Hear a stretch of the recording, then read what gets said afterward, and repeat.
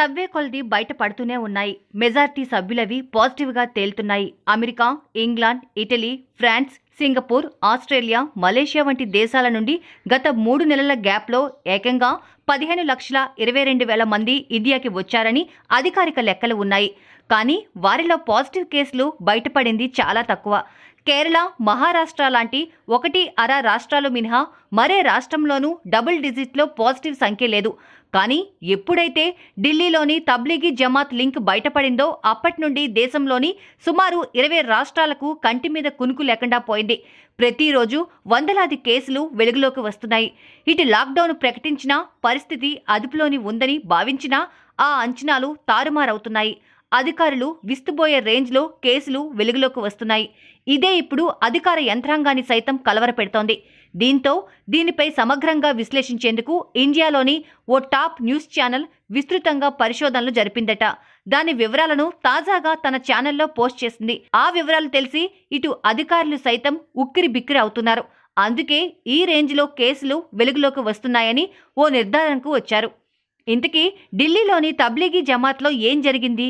ఎందుకు ఈ స్థాయిలో పాజిటివ్ కేసులు బయటపడుతున్నాయి? విస్తుబోయే వాస్తవాలపై మనము ఓ లుక్కేద్దాం ఢిల్లీలోని తబ్లీగీ జమాత్ ప్రపంచ స్థాయి నెట్వర్క్ ఉన్న ఓ సంస్థ. కానీ ఢిల్లీలోని నిజాముద్దీన్ ప్రాంతంలో ఉన్న మసీదు చాలా చిన్నది. దీని కేంద్రంగా ఓ వర్గానికి చెందినవారు సామూహిక ప్రార్థనలు చేస్తుంటారు. ఈ సంస్థకు అంతర్జాతీయంగా సుమారు యాభై లక్షల మందికి పైగా ఫాలోవర్లు ఉన్నారు. దీంతో ఢిల్లీకి వేలాదిగా తరలివచ్చారు. ముఖ్యంగా Indonesia Malaysia Iran Iraq Dubai Saudi Arabia Kazakhstan Tajikistan వంటి దేశాల నుండి సుమారు మూడు వేల మందికి పైగా తరలివచ్చారు ఢిల్లీలోని మర్కజ్కి. కరోనా వైరస్ విషయంలో ప్రొడ్యూసర్లు చైనా వాళ్ళైతే భారత్లో డిస్ట్రిబ్యూటర్లు తబ్లీగీలు అనే అభిప్రాయానికి వచ్చారు సాధారణ ప్రజలు. ఈ సంస్థ నిర్వాహకుల నిర్లక్ష్యం ఈ పరిస్థితికి కారణమైందని ఇది దేశంలో కరోనా ఆందోళనను కూడా పెంచిందని ఈ ఛానల్ విశ్లేషించింది. ఇక తబ్లిగి హాజరైన విదేశీ ప్రతినిధులతో మతోపదేశాలు చేశారు. ఇక వారికి లంచ్లు డిన్నర్లు అన్నీ అక్కడే. అక్కడే ఉంది అసలు కథ. ముస్లింలు ఇలాంటి ప్రార్థనల్లో నాన్ వెజ్ తప్పనిసరి. అక్కడున్న వేల మందికి అక్కడే వండారు.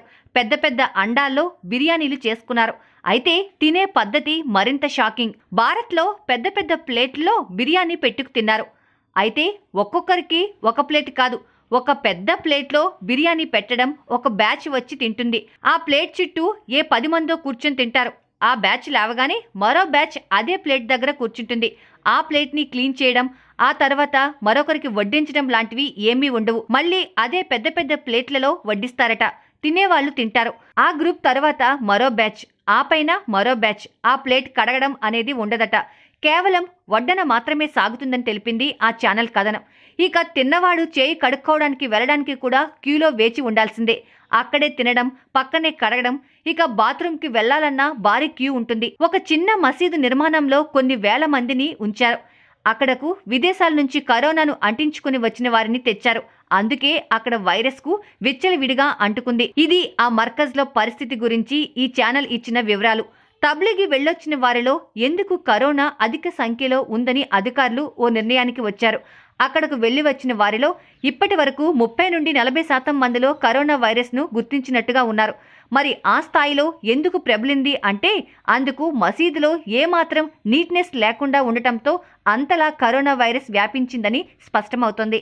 ఇంతలా వణికిస్తున్న కరోనా వైరస్ ఇండియాలో ఈ స్థాయిలో విస్తరించడానికి ప్రధాన కారణం ఢిల్లీలోని తబ్లీగీ జమాత్లో జరిగిన ఈ ఘటనలే అని ఆ సంస్థ వెలుగులోకి తెచ్చింది. దీంతో అధికారులు మరింత అప్రమత్తం అవుతున్నారు. ఢిల్లీలోని నిజాముద్దీన్ మర్కజ్ నుండి వచ్చిన వారి వివరాలను వీలైనంత వేగంగా సేకరించి వారికి టెస్టులు చేయడం వారి బంధువులను క్వారంటైన్కి పంపే టాస్క్ని వేగవంతం చేశారట.